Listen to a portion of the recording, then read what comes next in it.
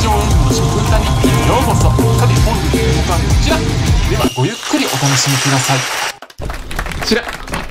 スーパーで買った栗お菓子5種類を食べたいと思います。えっと。音栗もうここ2年ぐらい栗拾いが定番になってますね。一昨年はローソン。去年はファミリーマートで今年はスーパーのお菓子栗拾いをしたいと思います。ただ結構種類があってちょっと一度でさすがに食べきれないので前編と後編の2回に分けたいと思います。で前編はこちらのえー、っと和栗ケーキパイの実モンブランチョコパイ和栗雪の宿マロンパイこの5つを食べたいと思います。栗がいっぱいだなではまずはうんと、まあ、この和栗ケーキからいただきます。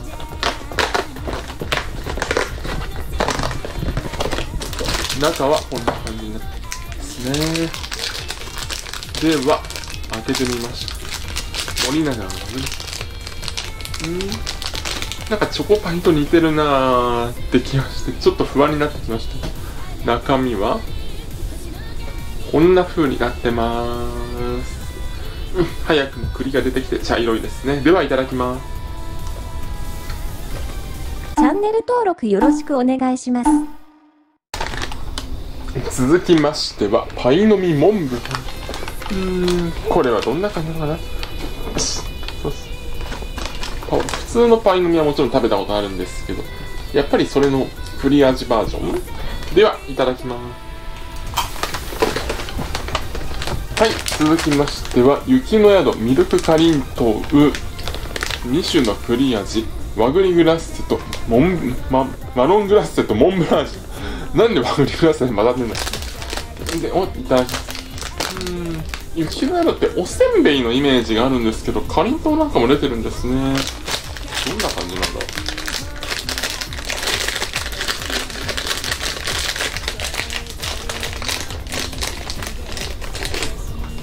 まあ見た目は何の変哲もないかりんとうですね。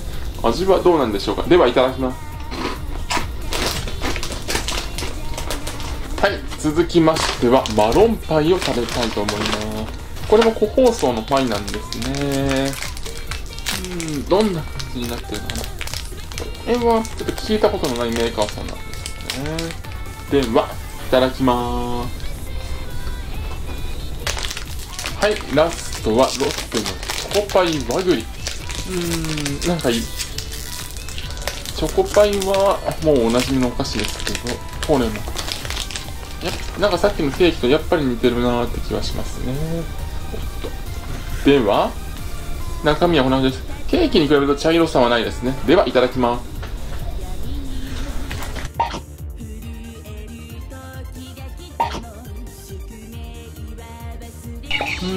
確かに栗を感じられる商品もあったんですけど一方でこれは微妙かなって思うものもちらほら。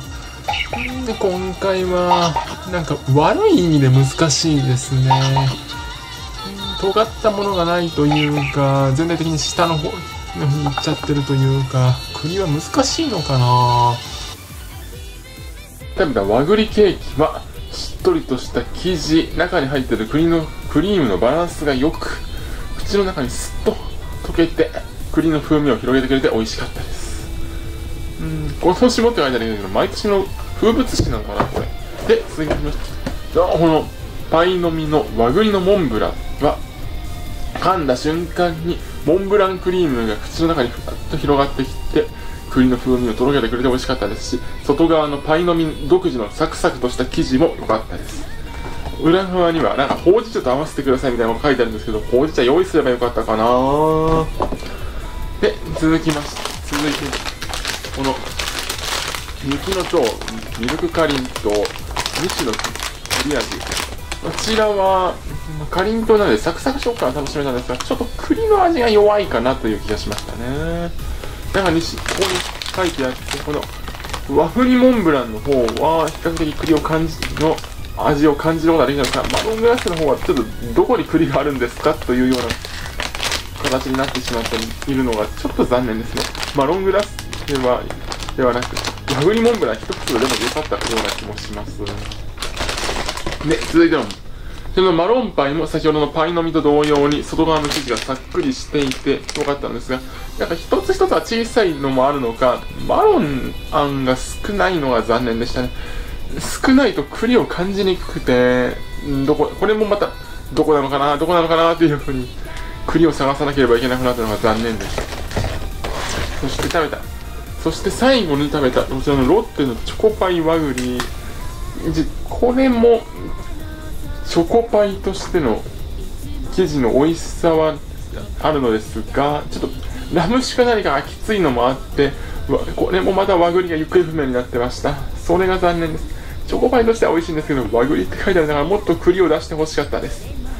あれ、食べた瞬間に栗、あれどこ、栗どこっていう風になるのが、正直、パッケージに書いてある商品としてはどうなんだろうなと思ってしまいます。で、この中だと自分は一番栗を感じられたのはこの和栗のパイの実和栗のモンブランなので本日はこのパイの実和栗のモンブランを代表として4点とさせていただきます。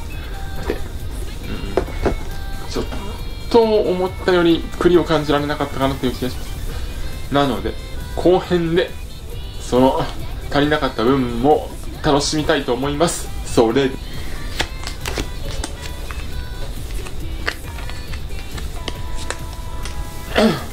アイスクリーム惚れに悪いかその糖を。うん。どちらでしょうね糖が悪いのかそれとも乳製品だからカルシウムがいいのか。ご視聴ありがとうございました。コメントしていただけるとそしてよろしければ他の動画も見ていただけると。動画を拡散していただけると嬉しいです。演武終演。お楽しみいただけましたか？もしそうでしたらチャンネル登録コメント高評価よろしくお願いします。ではまた次回の演目でお会いしましょう。